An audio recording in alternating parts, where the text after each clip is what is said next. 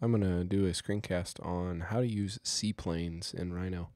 Uh, it's something I've been struggling with a lot. I'm still learning how to use them, but I want to show you some of the basic C-plane tools because it'll help you a lot as you're navigating and building some complex surfaces. So I'm going to start with something that I've built before. Uh, we'll go build three. And I'm going to show you how to deal with C-planes uh, as you're navigating, trying to create some geometries. I'm going to start by cleaning this up a little bit. You can see I was playing around with some spotlighting and some rendering. So I'll go ahead and uh, delete this spotlight out of here and go back to shaded view.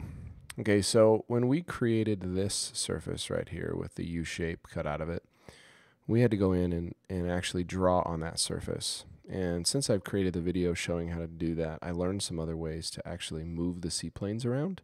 So I'm going to show you some of that. Uh, again, you want to make sure that in preferences and themes, you have Rhino for Windows selected. That will show you all of these different tabs up here, which I use to navigate. All that stuff exists in the Mac theme. I just don't know where to find it. So I'm using Rhino for Windows theme. Also, as you probably just heard, you'll occasionally hear my son Jack giggling in the background. He's watching Big Hero 6 right now as I'm recording these, and he really likes that movie. So I'm going to go to C-planes, and I'm going to explore some of these options. Now the default C-planes for each view for top, front, and right are named.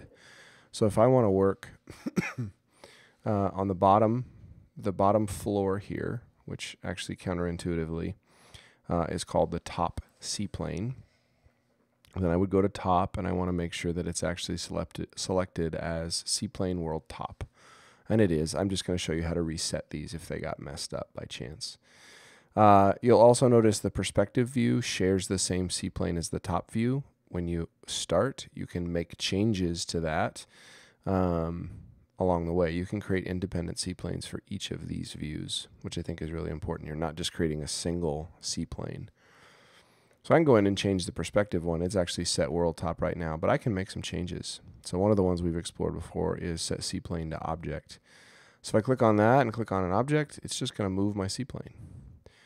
Now, as far as I can tell with object, it's trying to be helpful. It's trying to both pick the object and then the side of the object, like the surface that you've clicked on. So if I were to go backwards, um, which you can't actually undo those C-planes with undo. So I need to go back and do set C-plane world top. If I did set C-plane to object again, but chose a different side, it should shift that to that side of that object.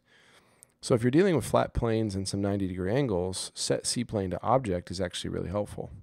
And what's nice about this is if I'm working in that view with that C-plane and I want to draw some geometry, and let's say I'll do a circle instead of a line, I want to draw some geometry, as long as my O snaps, that's these down here on the left. As long as they're not selecting any other pieces, like picking up intersections and things like that, the geometry will stay on the, that construction plane, right? You can see that that circle lives on that construction plane that I created.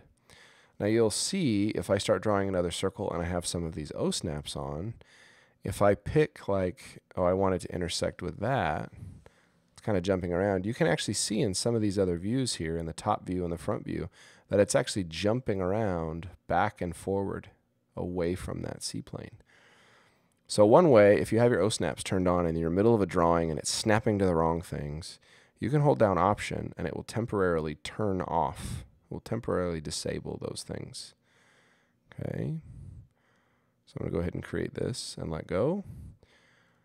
But you'll notice that this circle actually was created not on the C-plane. Do you know why that was?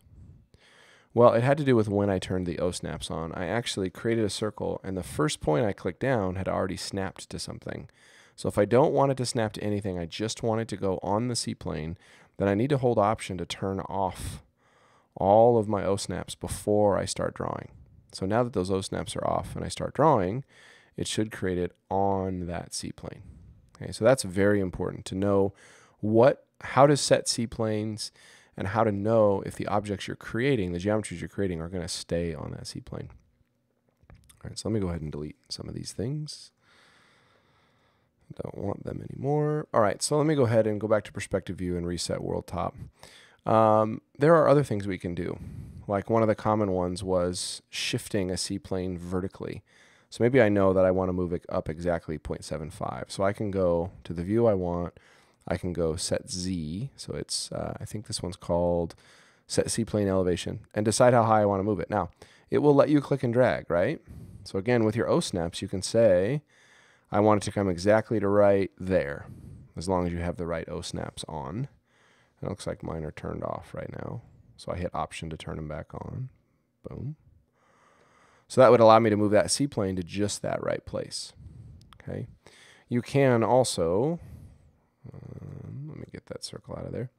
If I set that back to world top, you can also use this and directly type in. So I want to move this down 20 units. So I'll type negative 20 and that will shift.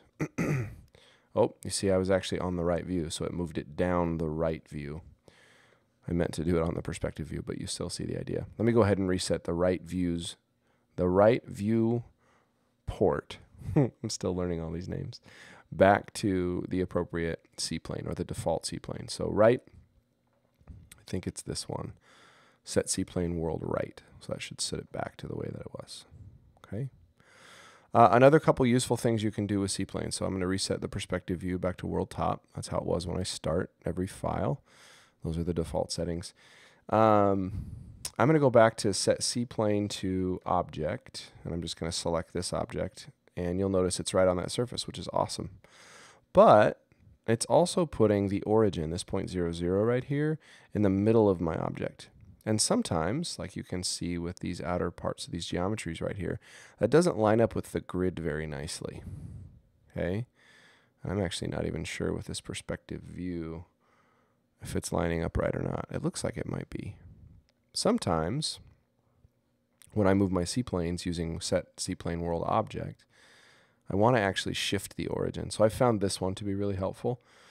I believe it is mm, this one. Yeah, set C-plane origin. So now I've moved my C-plane. It's in the right place in terms of like it's toward the front of the object where I want it. But I want to take 0, 0 and move it down to this corner right here. Because I've set up my grid to make it easier to count. I'm going to go set C-plane origin. And hopefully with the right O snaps, I can select the appropriate point. And all it's going to do, it's not going to move it forward in the object or backward in the object. It's just going to shift it left and right and up and down to recenter that origin. So the origin now is right on this intersection point right there. So those are some things we can do with C-planes. Hopefully this is helpful. Being able to navigate your workspace and control where you're creating geometries uh, will really be helpful as you go forward.